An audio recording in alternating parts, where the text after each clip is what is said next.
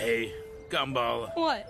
I, just wanted to say, you got massive hips. What? Uh, no, no.